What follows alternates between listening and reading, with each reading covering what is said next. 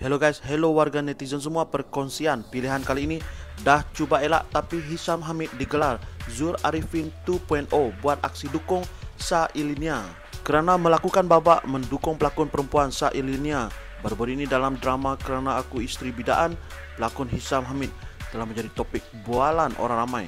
Dan ada yang menyamakan dirinya dengan pelakon sensasi Zul Arifin. Sedar sedang menjadi topik hangat orang ramai berbicara dalam media sosial Hisham mengambil langkah untuk tidak mengulas lebih lanjut kerana tidak mahu ada komen yang disalah tafsir oleh netizen.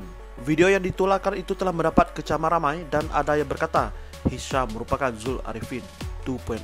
Apabila membaca komen-komen seperti itu, pelakon lelaki terbabit mengambil ia sebagai perkara yang positif kerana netizen hanya mahu menegurnya menjadi lebih baik. Tambahnya lagi dia turut memberitahu sudah sedaya upaya untuk elak daripada seperti itu berlaku namun kali ini tidak dapat dielak lagi. Dalam pada dirinya dikecam kerana melakukan aksi panas itu Hisham turut meluahkan rasa gembira kerana drama lakonannya kali ini mendapat sambutan yang lebih baik daripada penonton dan menganggap ia satu kepuasan kerana penat lelahnya menjalani penggambaran drama terbabit.